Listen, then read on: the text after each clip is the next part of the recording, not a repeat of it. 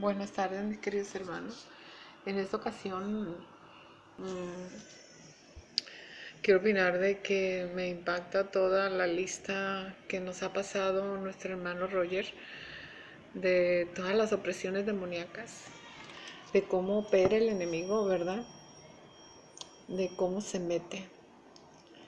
Es muy astuta, es muy astuta la serpiente.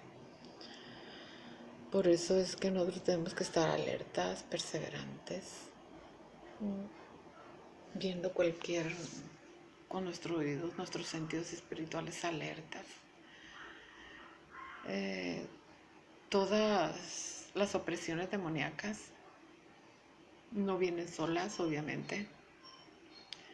Vienen, vienen a través de puertas que nosotros mismos a veces abrimos con nuestras actitudes, con nuestro proceder, con nuestra manera de vivir, alguna mala actitud, alguna mala decisión, ¿verdad?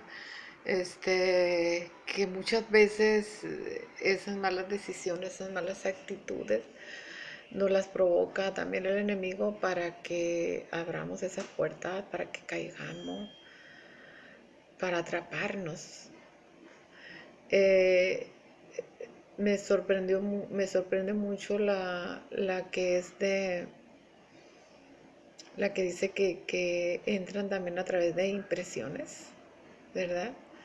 De un susto, todo lo que nos puede impresionar, de una mala noticia, de un accidente, de una enfermedad, de una intervención quirúrgica,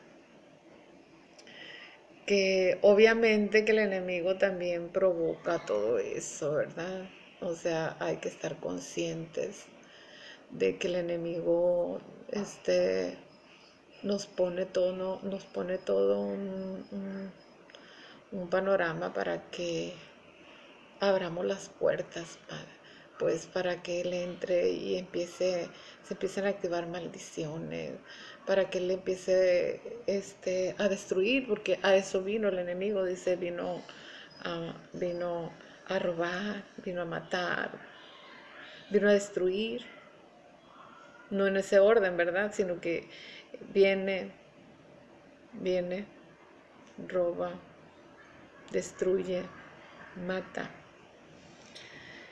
y realmente nulifica, ¿verdad? Lo que nuestro Padre hizo, nuestro amado Jesús, lo que hizo en la cruz. Él ya hizo todo completo. Él, ya nos hizo libres totalmente. Entonces, eh, este entrenamiento, estoy muy agradecida por la oportunidad de ser las primeras que van a salir. Y pues como dice, como le dice uno, venme aquí, Padre, envíame a mí, estoy dispuesta. Bendigo la vida de mis, de, mis líderes eh, en este eh, pues en este entrenamiento, la vida de, de, nuestro, de nuestro pastor Roger, que, que realmente sí el Señor le ha dado bastante sabiduría. Y pues muchas gracias. Los amo en el Señor Jesucristo. Mi nombre es María Elba Martínez y soy de Culiacán, Sinaloa.